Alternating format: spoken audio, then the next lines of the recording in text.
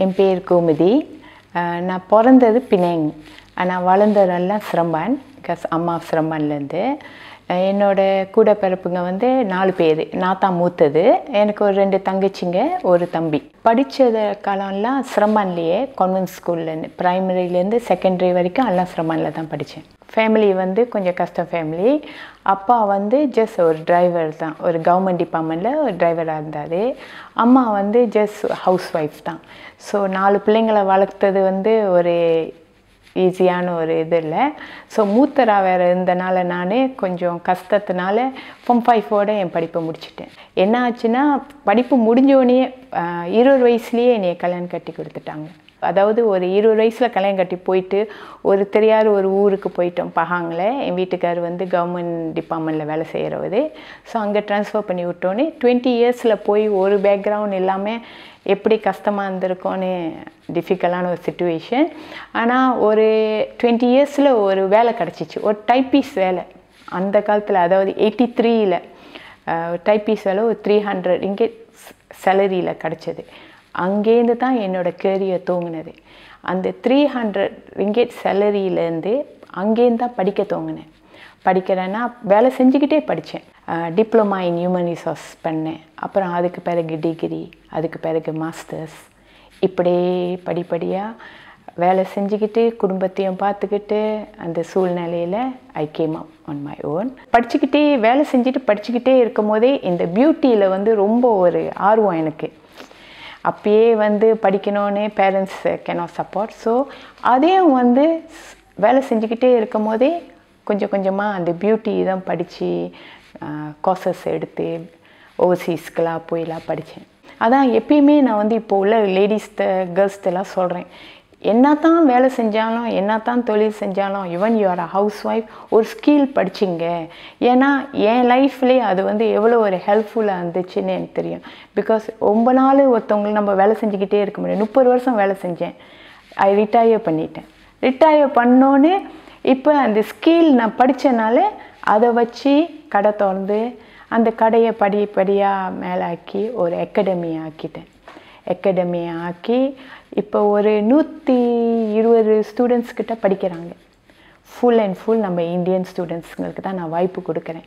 அதாவது இது வந்து ஒரு சீஜலுக்கு மஹிரான் மலேசியா கவர்மெண்ட் அக்ரிகேட் பண்ண ப்ரோக்ராம் நான் ரன் பண்ணிக்கிட்டு இருக்கிறேன். அதனால நிறைய நம்ம பிள்ளைங்க நம்ம இந்தியன்ஸுங்களுக்கு வந்து வாய்ப்பு கொடுக்குறேன்.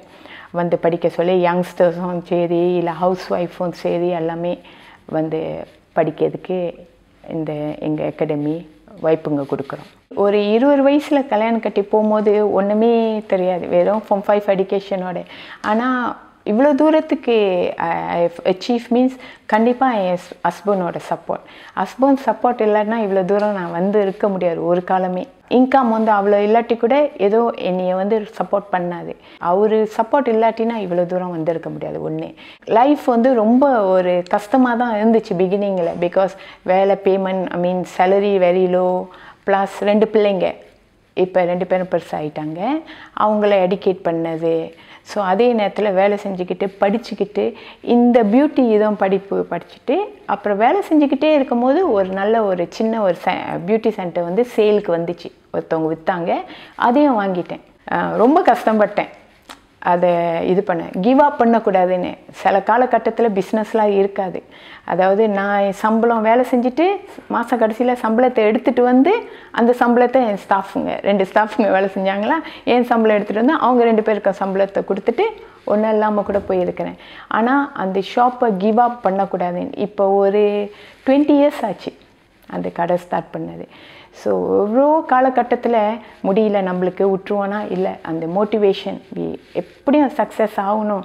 ஒரு காலத்தில் வந்து அது ஒரு கடையை வந்து ஒரு அகாடமி ஆக்கணும்னு ரொம்ப ஒரு மோட்டிவேஷன் இருந்தனால சம் ஆர் அதை ஐ சக்ஸஸ் அதாவது இந்த மாதிரி நிறைய பிரச்சனைங்க எவ்வளோ ப்ராப்ளம்ஸுங்க தாண்டி வந்து இன்றைக்கி அந்த சென்டரை வந்து அகாடமியை வந்து ரன் பண்ணுறேன் மெயினாக வந்து இப்போ என்னோடய சென்டரில் வந்து நான் டார்கெட் பண்ணதெல்லாம் இந்த யங்ஸ்டர்ஸ் தான்.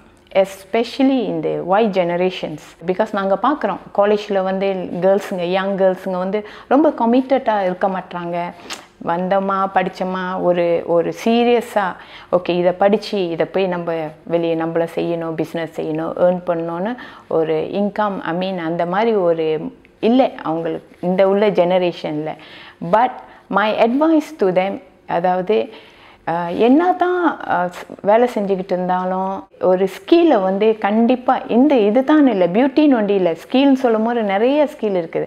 அதை ஆட் ஆன் பண்ணனால எந்த இதுவும் இல்லை.